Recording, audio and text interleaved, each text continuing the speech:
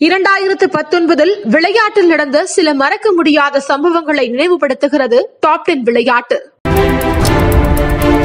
இரண்டாயிரத்து பத்தொன்பது உலக கைப்பந்து போட்டியில் பிரேசில் சாம்பியன் பட்டத்தை வென்று சாதனை படைத்துள்ளது. இந்தியாவின் சிறந்த கபடி வீரருக்கான பட்டியலில் பாட்னாவை சேர்ந்த பிரதத் நர்வால் முதலிடம் பிடித்துள்ளார். இரண்டாயிரத்து பத்தொன்பதாம் ஆண்டில் கிரிக்கெட் உலகக் கோப்பையை இங்கிலாந்து அணி முதன் முறையாக கைப்பற்றியுள்ளது. எதிரணியான நியூசிலாந்து கடுமையாக போராடியும் குறிப்பிடத்தக்கது. பிஃபா பெண்களுக்கான உலக கால்பந்து போட்டியில் அமெரிக்கா சாம்பியன் பட்டத்தை வென்றது. இரண்டாயிரத்து பத்தொன்பது உலக ஹாக்கி சாம்பியன்ஷிப் போட்டியில் பின்லாந்து சாம்பியன் பட்டத்தை வென்றது. சிறந்த பேட்மிண்டன் வீரராக கென்டோ மொவாட்டாவும் சிறந்த வீராங்கனையாக சென் யுஃபியும் தேர்ந்தெடுக்கப்பட்டுள்ளார்.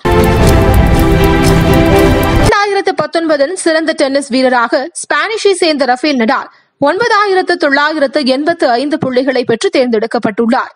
ஒன்பதாயிரத்து நூற்று நாற்பத்தி ஐந்து புள்ளிகளை பெற்று ஜோகோவிச் இரண்டாவது இடத்தை பெற்றுள்ளார்.